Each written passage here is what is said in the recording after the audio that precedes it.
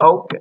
So we have completed the two steps. So why not jump on the third step? That is the view set. Okay so how to like do that? The view set is done in the views.py okay so now I don't again know what to do in here. So I'm just going in the API guide. I'm searching for the view sets and I got the view set. Okay now um, here some of the imports that we will require. Okay so we will require these two imports. So I'm just copying that. I'm pasting over here so I have my two view sets. Like I have imported. Now I will just search for the model view set and there we are. We have the syntax ready. So we have to declare a class. Let's just name it as class uh, like movies view set or something. Yeah. And we have to import view set dot model view set. I think i spelled it right. Okay. Yeah. Okay. Then we require something. As serializer class is equal to user serializer now user serializer is the class that they have created. What we can use is that uh, serializer class is equal to we have created our own movie serializer. If you remember we created this. Now how to import this? If you want to import this the thing is simple. From serializers. Yes. From serializer import movie serializer. Okay so there we go. We have our movie serializer ready and now we have to just write the query set. So query set is equal to now user is the name of their model. Now we also have our model. So let's just import that from model import uh, movie. And you require movie dot objects dot all. Okay? So there you go. Yeah it's done. Now what does this function do? Movie dot objects dot all. Okay so movie dot objects dot all basically fetches you every data that was in the database movie. Okay so that's why we use this function. So this function our view set is also done. Our serializer is also done. Our admin is done. Urls is not done. Okay so now we will focus on the router. Okay now router is also in the urls so this will be our last step. Uh just a minute. Okay this is two we will include the router part also in here. So bear with me if this video gets at least long. Okay so we are in the urls now we require something of routers. So what we are going is we are going in the routers routers where are you? Okay here it is. Just import this. Okay. Mm, there you go.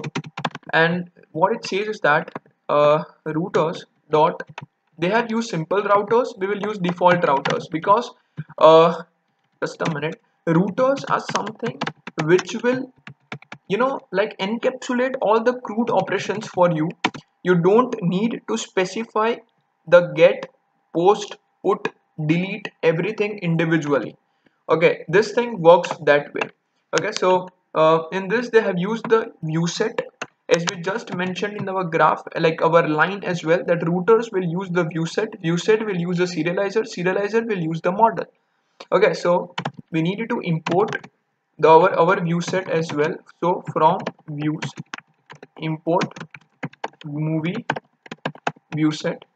And here what they say is that routers dot register they have something. Let's name it as movie. And we can use movie view set. Once this is done okay we need to just remove this and write router dot urls because that's thing they have written as well router.urls and as soon as you are done with this and if everything goes well which is not going okay okay okay this is just one step that we did wrong. Sorry for those who messed it up. It was from models. I really missed that part. Okay there is one more thing in the views.py uh, just a minute. Sorry for those i did not check while i was writing. Okay there you go.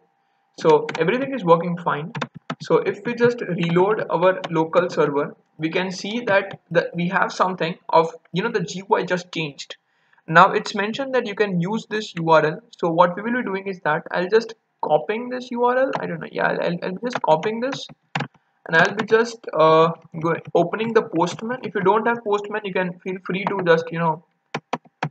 Okay so this is a URL that I am just pasting it. If I'm using the get function in here and if I am let's say sending my get request let's see if are getting some data or not. And there you go.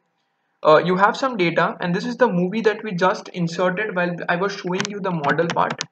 I don't know how much long the video is. Okay we still have some time. So let's just post some data. Uh, okay so let's just name the movie as title. Uh, okay so for those who do not know what I have used in here okay so I, I've gone to the body I've gone to form data and then I've wrote this. So it's title avatar. The spelling of description okay so it's description class um, it was you know just a classic science fiction. And how many stars I want to give? So first of all I need to require the genre. So okay so let's just name it genre and I'm naming it as sci-fi.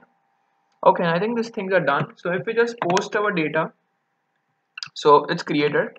And now if we again get this thing you can see that we have got the two datas in our hand. We have just used the API for calling and retrieving. Let's just delete it and see whether this thing is working or not.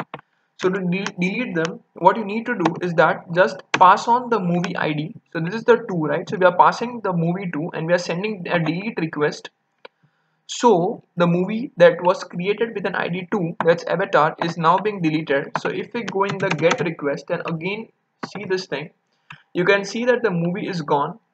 Okay? So we have the read we have the uh, you know like uh, delete we have create everything it's done using just a simple method of creating a view set serializer and routers.